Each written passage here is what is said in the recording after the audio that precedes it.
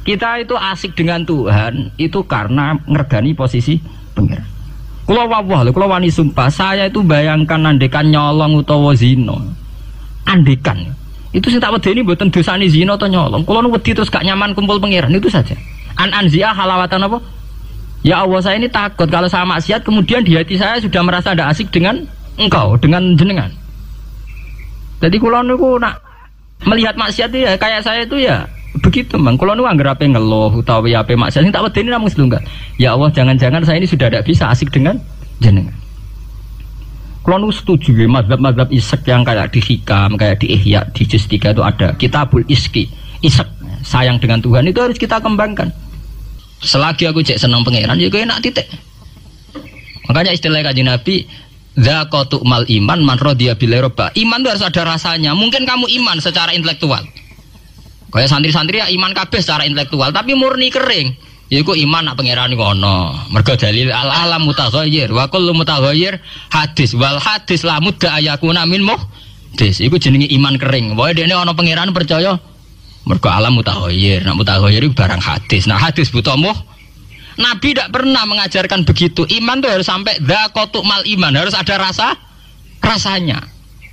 Lah rasanya iman dimulai sampai nyaman be pengiran. Rodia billahi napa? Robban. Sebab itu Quran diulang-ulang. Walladzina amanu asyaddu hubbal lillah. Kalau wis mukmin tenan tuh nyaman dengan Tuhan. Sebab itu tengene surat Al-Bayyinah nggih ngoten. Nyeritakno wong mukmin sing khairul bariyah. Innalladzina amanu wa amilus solihati ulaika hum khairul bariyah ditutup napa radhiyallahu anhum wa radu ana terus dzalika liman khasya napa rabba. Orang yang takut posisi Tuhannya. Ini sing disebut wa amma man khafa maqama rabbih wa nahan nafsa anil orang yang takut posisi Tuhan. Sehingga karena takut posisi Tuhan ini kemudian mereka wanahan nafsa anil? Jadi gampangannya orang maksiat itu mergo sungkan pangeran. Orang mergo wedi neraka. Nah itu harus kita latih. Itu penting ya kearifan-kearifan begini untuk melatih kita supaya tetap su syukur. Kan saat ini penyakitnya, mulai kalau usul ya, para kiai itu jangan terlatih mentoleransi umat sing ngeluh. Selama ini dalihnya kan ya namanya umat ya kita apa ya kita kita apa dengarkan kita apa. Murah bener di rumah itu dididik. Kalau sering nonton nonton tamu Rian sering kalau jadi tamu. Saat ini mau kapok mereka tak amuk tenan. Rian kalau sering jadi tamu bagus kalau ada tiga kamen sumpah terus perkara ekonomi perkara pengaruh gitu gitu oh, manjan ngalim merung tutup kamen ya tak among ngoten maksudnya pikir ya kue ku rong imani radhiyallahu anhu maraduan ciri utama wong apik mikir diri dari pangeran ta wae ora ke pikiranmu diri dari manusia ta ora. Lha iku sing maksud ngaji merung tutup kamen berarti kalau salah ibu itu salah. Jelas apa Nah misalnya orang single Kulo niku Gus urip kula lara kabeh ora tau di dhuwit. Mesti ora di dhuwit kowe tok. Ora di dhuwit ya pirang? Pirang-pirang. Semarang dhuwit penting, penting di pangeran. Nah, penting pangeran ya wis kowe di pangeran wis to. Soal di dhuwit ya biasa, ya ora di dhuwit ya golek tapi ora usah ngeluh. Ya biasa saja. Masalahnya itu tadi kita ini termasuk kehilangan banyak energi. Itu karena sering ngeluh. Sebab itu pangeran sampai ngendikan wa amma bi ni'mati rabbika apa? Sama nak delok teng manakib, kaya apa mlebu Is Abdul Qadir. Sampai wonten bab khusus dawe Si Abdul Qadir krana wa amma bi nikmati rabbika apa? Fati sampai ngendikan ana salabul ahwal ana bahrun bila sahil ana narwahilmu nganti plepak plepok nganti pirang lembar ngendikan ana salabul ahwal ana bahrun bila sahil asura khulsan al khalas asrotan walau kuntu fi zamanil akhatu biadih Husain Al Khalaf itu ini sempat kepleset. Saya ngerasa periode be aku. Cara sak periode be aku tak selamat. oh, ya cek rap, cek rapuas, melepuh cek terus no. Wa ana liman min muridi wa muhibbi wa wilayah milki apa aku tu biadi kulama asro khayan wa mai wa maita. Wes pokoke sing seneng aku, sing menggedaki aku sampai kiamat. Nah, kepleset tak tulungi aku. Apa mereka secara real si Abdul Qadir itu begitu ya ndak itu omongannya wong isek. Hanya si Abdul Qadir yakin bahwa orang yang senang dia atas nama Allah tentu Allah mesti nu nulung. Ya berangkat dari satu keyakinan. Kayak kula ngaji ngenten pede mawon, kula ora kuwatir disalahno wong liya mergo metode ngene kurang ngene kurang ngene. Paling sing ngomong ngono kan menungso, gak penting.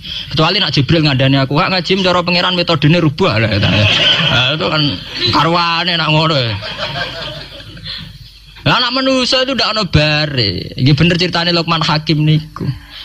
Jong, Lukman Hakim ngandani anaknya mbok sitok sing paling populer. Jong nek niat ngamal apik ya apik rasa peduli omongane. Wah. Tapi ya Pak ya jajal ning pasar nih terus jadi cerita populer.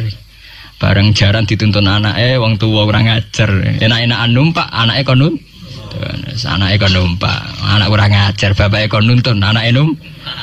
Ya saiki tintakno numpak wong loro. Jadi jaran sitok ditumpaki wong loro. Jadi terakhir diwalik, dituntun wong loro. Wong jaran sitok dituntun Ya kita akan begitu. Nak dia kiai intelek jari sekuler, itu sekuler ora salah. Nak salah jari kurang wawasan.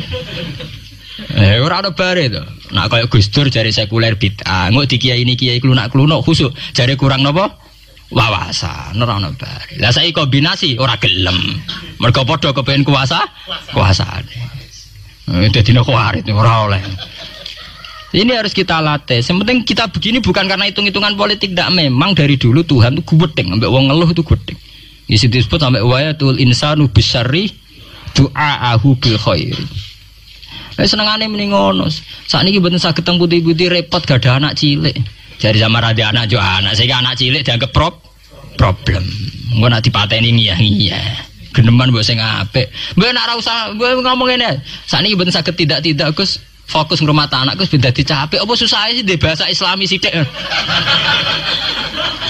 Oh, diajari Quran. Lho kula kula ngoten, kula anggere diundang kanca kula reso teko. Wah, aku di anak cilik, senengane nak dolanan mbek aku.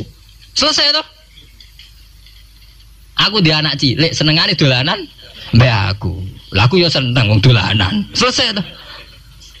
Senengane kok ngeluh, mari anak cah cilik ruwebol kok nguyah kok ngising. Lah kok ora iso nguyah, ora iso ngising. Wah sing apik dadi manusa napa? Sing apik. Mulai ngaji niku prei ngeluh napa? Wa amma bi nikmati rabbika napa? Mau cerita sing asik-asik kae. Kaya kula nyai mulai teng mriki sani ora tau lah kula ngeluh. Pede mawon damai mawon.